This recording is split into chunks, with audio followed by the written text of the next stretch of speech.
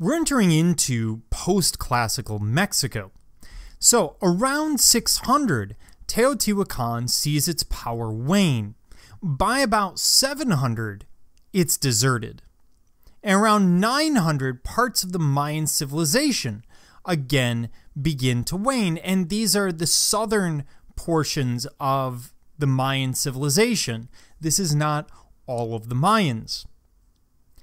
The Zapotec in Oaxaca will also falter around 700, giving way to a group called the Mixtec, M I X T E C. El Tajín will also burn around the 12th century.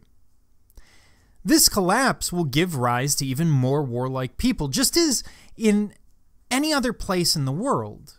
When you have a power vacuum where all of the major power bases collapse in relatively historically speaking, short order, what you get is a rise of new civilizations, and usually a number of them, and then they're going to be fighting it out to see who comes to prominence.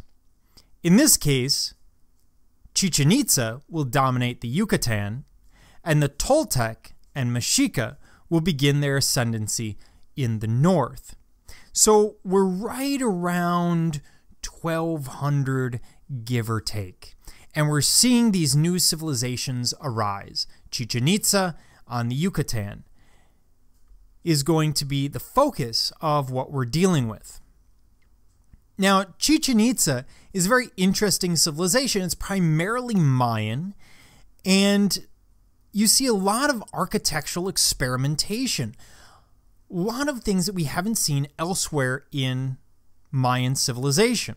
For example, the use of piers and columns, things that we haven't seen here in Mesoamerica, even though we've seen them quite commonly elsewhere. For example, ancient Greece.